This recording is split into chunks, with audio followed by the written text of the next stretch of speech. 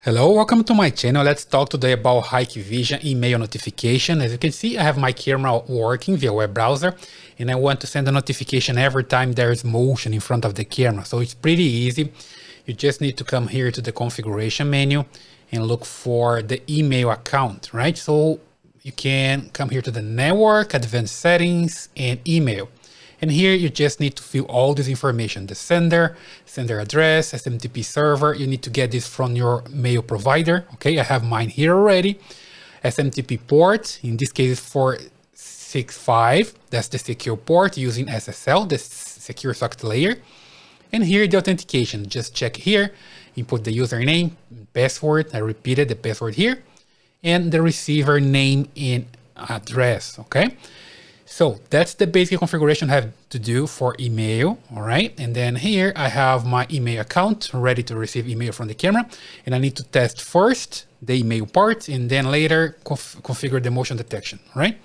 So back here, I've just hit test and wait for the camera to send a testing email, right? So to make sure it's working before I configure the motion detection. So it takes a while. It's just communicating with the server, testing the authentication and everything else and if it works, I'm going to receive an email to confirm that's working.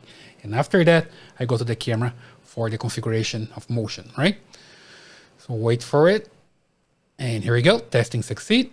Let me just come here to my email account to confirm. Here we go. I have a filter here for Hikvision camera and just got this test email. So this is a test mail from IP camera.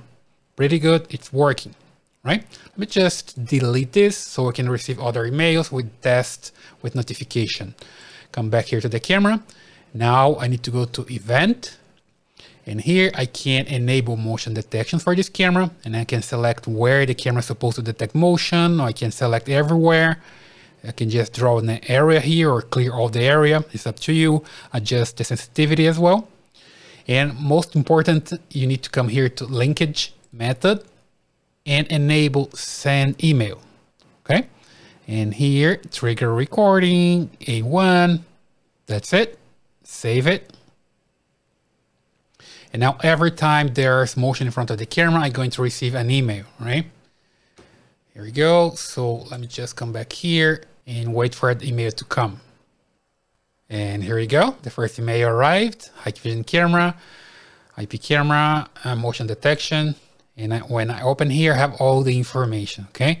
Motion detection, the time, IP camera, name, Hikvision, and things like that. So it's basically working, but I still don't have here the picture, right? I can also go to the camera and configure the camera to send pictures when there's a motion. So I'm gonna do that. I'm just delete these emails, just a test one. Come back here to configuration and look for the information where I can attach the email, right? So you need to come back here to network, advanced settings, email again, and here you have this option to attach image, okay? Uh, interval, two seconds, and just hit save. And I'm gonna wait again to receive new emails. So I'll come back here to live view just to see that the image is working. There are cars passing by there, generating motion. Here we go. I'm supposed to get some pictures from this motion detection, right? Let me just come here. Nothing yet because I just configured the camera. Let's just wait.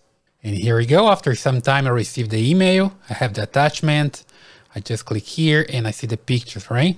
When I click here, I see three of them because there's motion detection when the car is passing by, okay? So pretty interesting. It's working fine. And now I have my camera just detecting emails, uh, detecting motion and sending email for notification. Okay.